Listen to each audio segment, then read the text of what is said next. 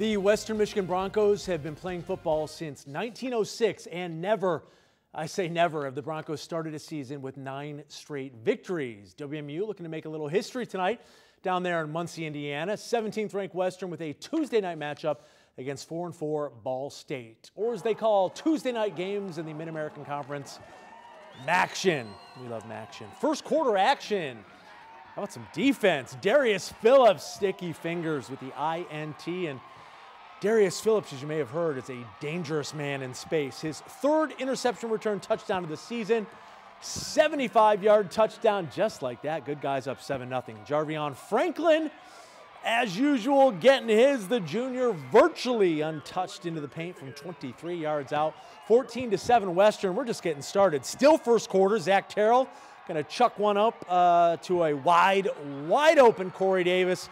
The senior, 57 yard touchdown, 21 to 7 Western, and Davis was just getting started. Late second quarter, yet another highlight reel grab for the future first round NFL draft pick, 35 yard touchdown. Davis then opening the second half with a 62 yard touchdown. His third of the night. Davis, 12 catches, a school record 272 yards. Western leads this one 52 to 13 now. Yeah, late in the fourth quarter down there in Muncie. My man Brian Kaufman joining us from Muncie with more on tonight's game. Brian, all sorts of good news tonight. The inaugural college football playoff poll released earlier this evening, and Corey Davis setting yet another school record. Not a bad night, huh, down there in Muncie?